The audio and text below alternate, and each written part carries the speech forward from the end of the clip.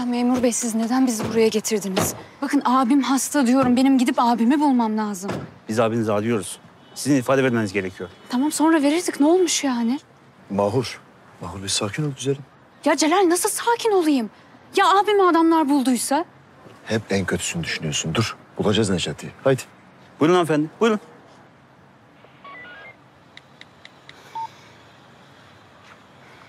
Alo hala. Efendim Mahurcuğum? Hala şimdi sana bir şey söyleyeceğim ama sakin ol tamam mı? Necati abim kayıp. K- kayıp mı? N- nasıl? Hastaneden kaçmış. Ama merak etme biz şimdi her yere bakıyoruz. Sadece eğer sana Behiye ya da Sadık abiye ulaşırsa bize haber verin tamam mı? Tamam. Ee, şey e, kötü bir şey yok değil mi? Yok. Yok halacığım kötü bir şey yok. Peki.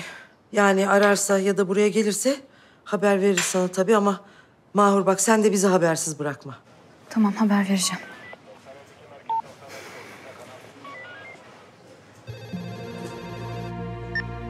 Hamiyet Hanım. Ne olmuş? Kötü bir şey mi olmuş? Necati hastaneden kaçmış.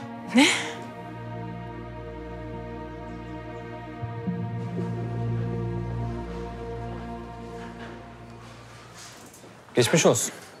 Sağ olun. Şahısları tanıyor muydunuz? Yok tanımıyorduk.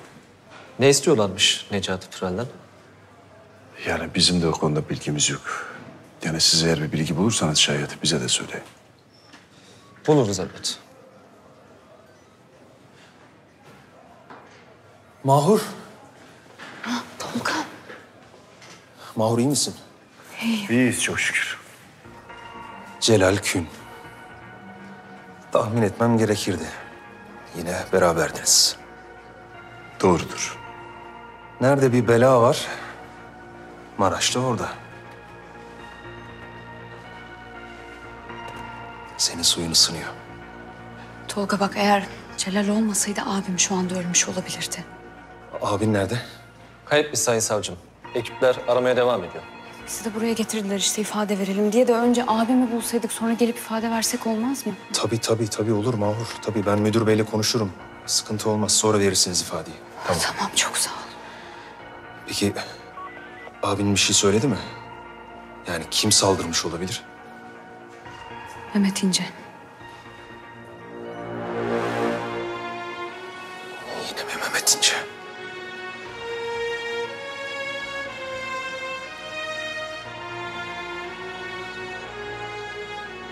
Sen bu Mehmet İnce konusunda bir şey bilmediğine emin misin?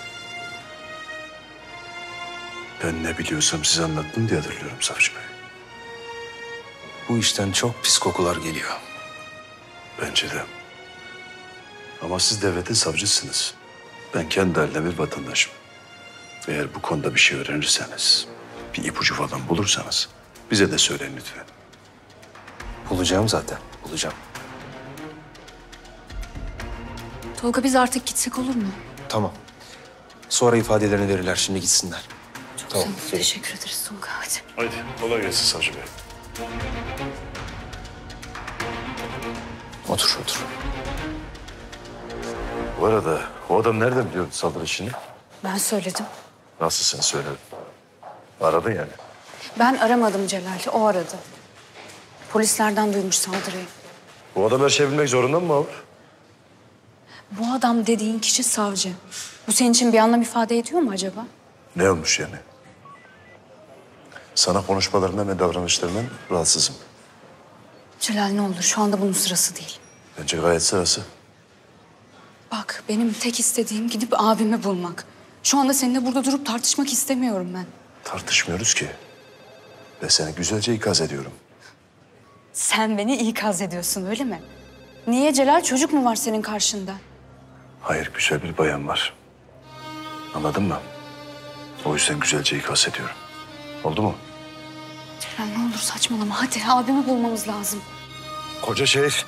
Nereden başlayacağız? Her yere bakacağız Celal bilmiyorum. Dur bir sakin ol. Dedim ya belki eski eve gitmiştir. Oraya bakalım. Sana başka bir şey dedi mi konuştuğunuzda? Hayır demedi. İyi düşün. İlhan abimle babamı sordu. Onlar niye hiç gelmedi dedi. Belki de onların yanına gitmiştir. Olabilir. Haydi. Nereye? Allah cezanızı versin. Savaş Bey, Becerememişler değil mi? Maraş'ta yetişmiş yine. Bu adam nasıl buldu orayı? Mahur'la gelmişler. Mış miş. Nerede peki bu Necati? Bilmiyorum, saklamışlardır kesin. Aramaya devam edin Suat. Tamamdır Savaş Bey. Ben hurdacıyla konuşurum.